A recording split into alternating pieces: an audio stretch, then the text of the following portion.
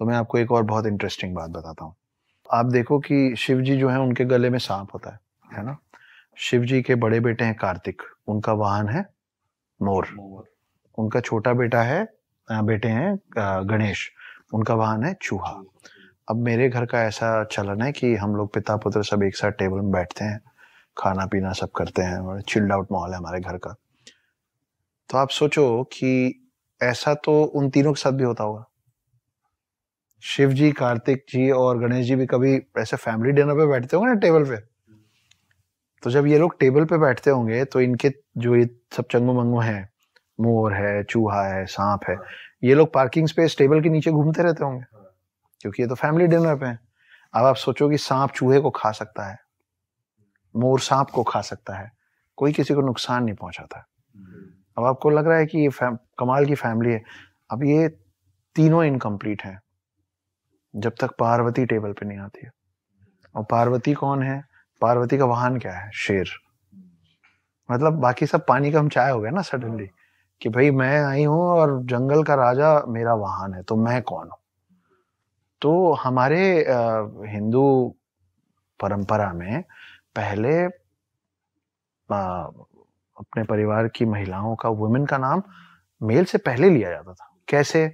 आप देखिए गौरी शंकर लक्ष्मी नारायण सिया राम राधा कृष्ण है ना? तो ये हमारा कल्चर था।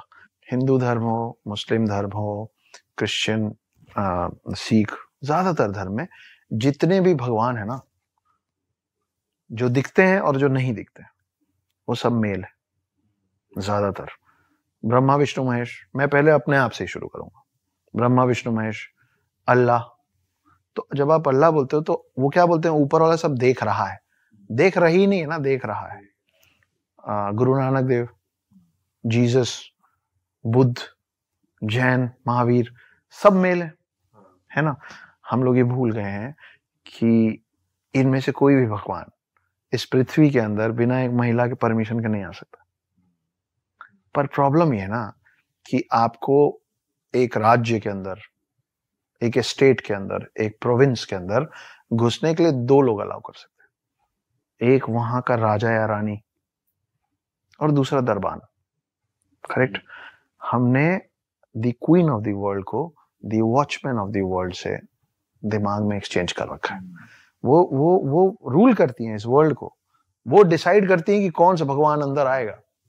लेकिन हमने उनको अपने पैर नीचे दबा रखा है उनको बना दिया है गेट कीपर तो हम मैं जहाँ से आता हूँ वहाँ देवी की पूजा देवों से पहले होती सर ये मैंने भी सुना है कि वैसे कि दुनिया को बताया जाता है ब्रह्मा विष्णु महेश तीनों दुनिया चला रहे हैं बट वो एक्चुअली देवी के बेटे हैं। तो सबसे ऊपर देवी आती हैं फिर ये तीनों आते हैं। हाँ। एक एक स्क्रिप्चर में ऐसा भी लिखा है। देखिए जब आप विष्णु पुराण पढ़ेंगे ना तो आपको पता चलेगा कि विष्णु पहले आए थे और वो शिव और ब्रह्मा को लाए थे। फिर जब आप शिव पुराण पढ़ेंगे तो आपको पता चलेगा कि शिव पहले आए थे और फिर वो ब्रह्मा और विष्णु को लाए थे है ना? तो अनंत अनादि जो कहते हैं वो ज़्यादातर लोग शिव के लिए कहते हैं क्योंकि शिव पुराण ज़्यादा मान्यता वाला है। शिव को मानने वाले शिव के भक्त ज़्यादा है। इसलिए वो ज़्यादा चलन में है कि शिव पहले आए थे। मगर असलियत ये भी है देखिए एक राक्षस था जिसका नाम था महिषासुर है ना? आपने सुना होगा। अब महिषासुर को ना कोई नहीं मार पा रहा था। तो शक्ति ने दुर्गा का रूप लिया। और आप देखिए कि कोई भी भगवान, ये जो स्पेशली जो तीन भगवान है, ये आप ब्रह्मा को कभी त्रिशूल और तलवार त्रिशूल और चक्र लिए नहीं देखेंगे। आप विष्णु को मोस्ट ऑफ़ द टाइम सिर्फ़ चक्र लिए देखेंगे, त्रिशूल लिए नहीं देखेंगे। आप शिव जी को कभी भी चक्र के साथ नहीं देखेंगे, त्रिशूल के साथ देखेंगे। इसका ये भी कारण है कि ये तीनों जो मेल फॉर्म्स हैं, ये तीनों का जो मेन पावर है, एक बॉडी कंटेन नहीं कर सकता। फैंटास्टिक फोर देखे ना आप फ़र्स्ट पार्ट उसमें क्या होता है चारों एक में घुस जाते हैं फ़र्स्ट सेकेंड पार्ट चारों एक में घुस के फिर विलेन से लड़ते हैं ना। ऐसा ये गॉड्स नहीं कर पाते। लेकिन जब शक्ति दुर्गा का रूप लेके आई तो उन्होंने शिव जी से त्रिशूल ले लिया विष्णु जी से चक्र ले लिया और ब्रह्मा जी से वो कमंडल लिया। कमंडल के अंदर माना जाता है cosmic energy of the world है यूनिवर्स है। है ना? तो ये तीनों को कोई भी मेल बॉडी कंटेन नहीं कर पा रहा था। ये आई और इन्होंने सब कुछ कंटेन कर लिया महिषासुर को मारने के लिए। तो अब आप उसको थोड़ा साइंस में ले जाते हैं। इलेक्ट्रॉन, प्रोटॉन और न्यूट्रॉन मिलके एटम बनाता है। ठीक है? क्रिएटर डिस्ट्रॉयर प्रिजर्वर मिलके सृष्टि, पृथ्वी, ठीक है? और ब्रह्मा, विष्णु, महेश मिलके बनाते हैं शक्ति।